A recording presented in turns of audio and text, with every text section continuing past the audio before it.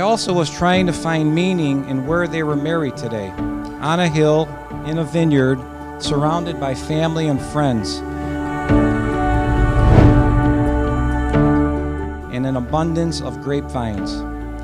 Grapevines that hopefully would branch out and yield fine bottles of wine.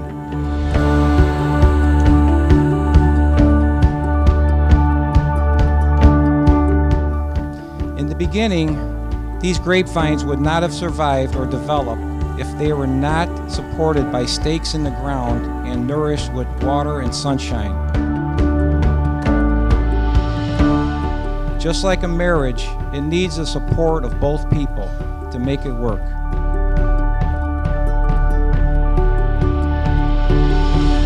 What they both put into their marriage will yield a lifetime filled with happy times.